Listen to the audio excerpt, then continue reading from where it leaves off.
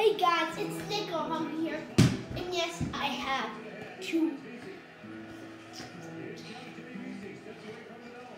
One.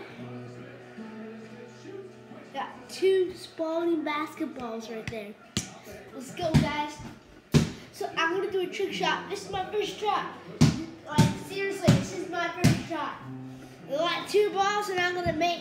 I'm gonna get. I'm gonna, I'm gonna do this trick shot. This is like a trick shot. I've I've tried this in the past, like two years ago, and I couldn't even do it. Like I did a hundred tries, and I couldn't even do it. So yeah, guys, you guys ready for this? Let's go. One. Oh my god! Guys, I just did that! Two shots! Did you see!